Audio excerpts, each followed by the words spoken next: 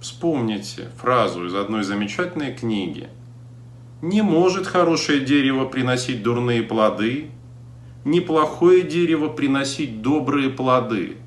От кого же вы ждете хороших добрых поправок к Конституцию?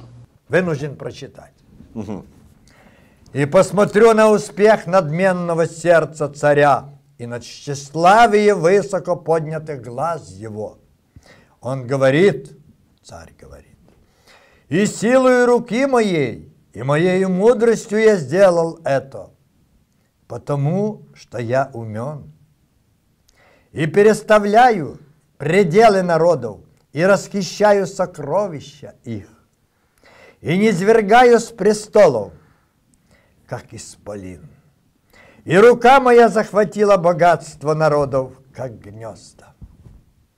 И как забирают оставленных яйца, так забираю я всю землю русскую. И никто не пошевелил крылом, и не открыл та, рта, и не пискнул, защищая свою землю и защищая... Вы знаете, откуда это? Это не Путин, не Путин, не последний. Это Исаия А, из Библии.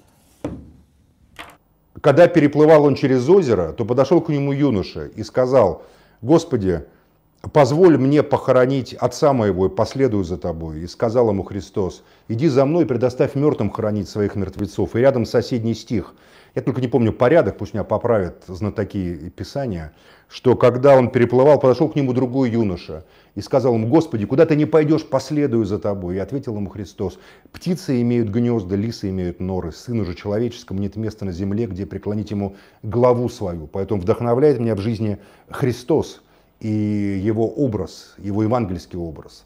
И именно поэтому я пришел к левой идее, к идее справедливости, потому что она является политическим воплощением многих истин, которые э, я видел и вижу в Евангелии.